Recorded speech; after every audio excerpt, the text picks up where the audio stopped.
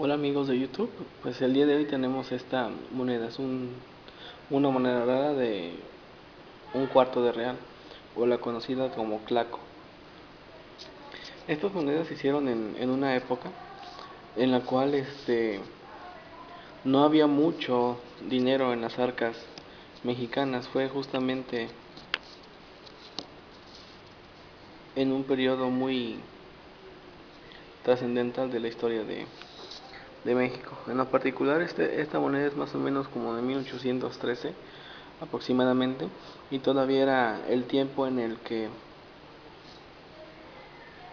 el rey Ferdinand todavía mandaba dinero para México a que se acuñara debido a que no, no había tanta solvencia este, económica a pesar de que ya estaban consiguiendo la, la independencia. Tiene detalles muy interesantes porque en la parte trasera tal pareciera como si fuera un, una moneda de los maravedis. Los maravedis se hicieron para las clases más este, desposeídas porque monedas de un real o de medio real resultaban muy altas para las transacciones que realizaban estas clases. Entonces es una moneda muy muy escasa en un tiempo donde había poca solvencia económica y está en muy buen estado de conservación. Bueno, espero les haya gustado la moneda y nos vemos en la próxima. Hasta luego.